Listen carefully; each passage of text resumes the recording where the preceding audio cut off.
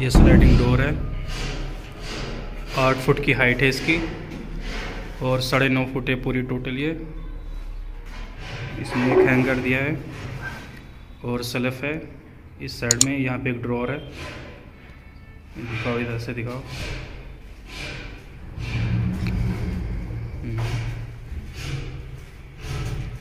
Yes बीच वाला ये भी बराबर आउटपुट का है। यहाँ पे दो हैंगर है ऊपर ये बैग रख सकते हो कंबल वगैरह ठीक है।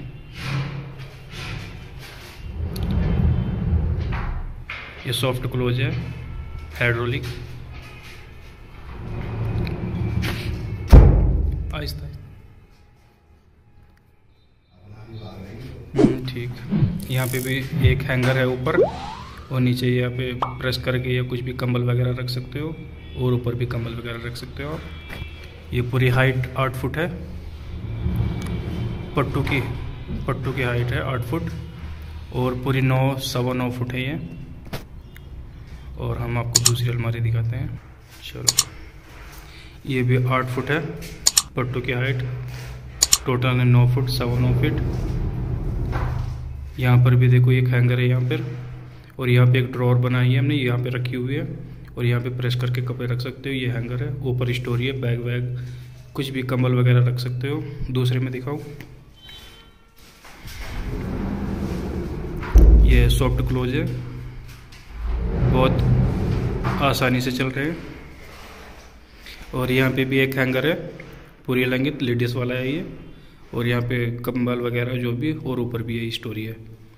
हमने ऊपर कोई पट्टू वट्टू नहीं दिया है। ये पूरी आठ फुट की हाइट है। बराबर सॉफ्ट क्लोज है। बहुत आसानी से चल रहे हैं। ठीक है। ये तीसरी अलमारी है हमारी। देखो, बिल्कुल सॉफ्ट क्लोज है, आहिस्ता से चल रहे हैं, आराम से।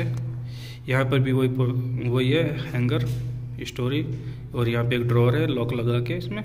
और यहाँ पे प्रेस करके कपड़े रख सकते हो आप। ऊपर पर कंबल वगैरह रख सकते हो। ठीक। इसकी भी नौ फुट हाइट है, सवा नौ फीट और आठ फुट के पट्टू है इसके पल्ले। बराबर सॉफ्ट क्लोज है। इसको ऊपर से लेमिनेशन है। ये इसको फाइनल करने के बाद उठाएँगे। पेंटर वगैरह जब काम कर देंगे ख़त्म। यहाँ पे भी हैंगर है लेडीज़ वाला। ये लंगित बड़ी है और ये छोटे कमल वगैरह। और यहाँ पे बैग वगैरह रख सकते हो आप। ठीक है, बंद कर दो। ये सॉफ्ट क्लोज है अपने आप ही बंद हो जाएँगे। आपको दिखाते हैं तीसरी अलमारी, चौथी अलमारी सॉरी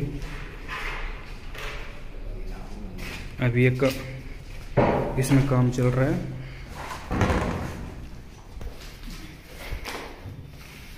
ये देखिए, यहाँ पे काम कर रहे हैं। ये थोड़ी अलग तरीके से बनाई हमने। यहाँ पे बूट वगैरह रख सकते हो। ये भी हैंगर है ये भी हैंगर है और ऊपर अपना कंबल वगैरह रख सकते हो। यहाँ पे हमें लाइटें निकालनी है अभी। लाइट निकालनी है अभी यहाँ पे। ये देखिए। काम कर रहे हैं यहाँ पे अभी, ये कंप्लीट नहीं है। अभी यहाँ पे इनके पल्ले रखे, एक ये पल्ला रखा है और एक ये पल्ला रखा है हमारा।